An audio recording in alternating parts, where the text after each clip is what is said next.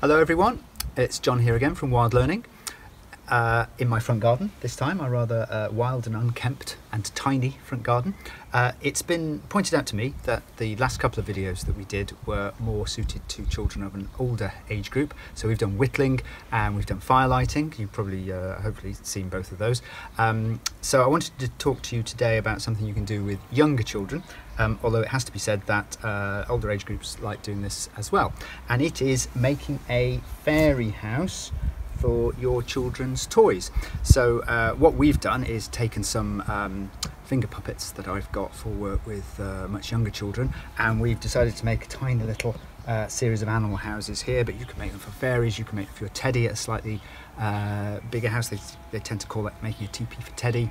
Um, and the great thing about this is that it, it doesn't take much room. We're just in my uh, my tiny garden. It you only need things that you found in the garden. So we've got some some sticks. This is offcuts from some buddleia that I pruned earlier, and we've just got various bits of twigs that we've used. And yet we've made to make managed to make a, a frog house, uh, a traditional teepee, uh, an elephant house. I think that's a rat as well. Uh, a, a tiger enclosure, which I called a lion enclosure earlier and got told off by the cameraman. We've got a, a Jurassic Park gateway here. We've got a panda grass hut over there. And then we've got the, uh, the moose house uh, in the corner uh, by the big hedge. And the great thing about this activity is that it's very easy for small children to do. Uh, they get to practice techniques, real den building techniques that they could maybe use uh, when they're older to make uh, full-size dens. They get the the experience of being enormously powerful because they can lift what are proportionately huge logs. It's fast and most of all, it's an imaginative spur, it's a spur to imaginative play. So um, you will find that children will start to tell stories immediately about what's going on and possibly start to argue about whether that's the park keeper's house or whether this is a, an amusement park or whether it's a mine. Um, and it is a great way to encourage children to tell stories. Uh, it's one of our most popular activities. Uh, we do it quite a lot. Um, in fact, my cameraman was responsible for making a, a very large uh, 132nd scale fairy village in Highgate Wood uh, last year. What was that called, Sam? Bogalopolis. That was called Bogalopolis. So um, unfortunately I don't have a video of Bogalopolis, but what I do have is a video that uh, I took a couple of years ago at Claremont Landscape Garden when we had 25 children who all worked together all day to make an enormous village and then they showed us around it. So I'm going to uh, leave you now and say happy building um, and um, we're going to show you the video of the Claremont Landscape Garden Fairy Village from 2018.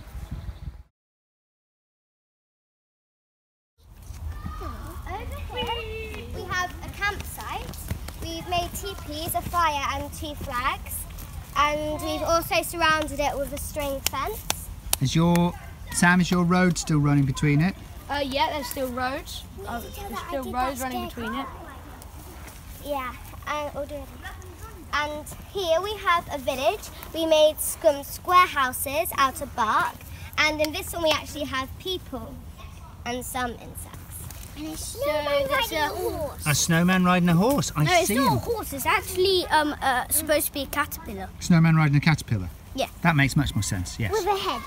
We've got another village over here, which has dirt walls and bark roof.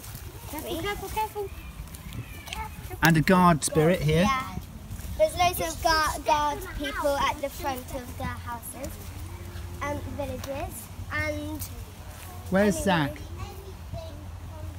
Zach. And over here we come to this is the mountainous area, I believe. yeah. Yeah. And I built this little village, and it is called the Mountain Village.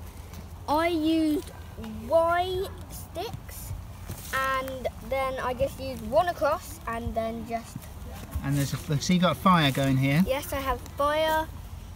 And uh, what that, what's that? Does that look like a guard crab? I have no idea what that is. It's a strange guard animal.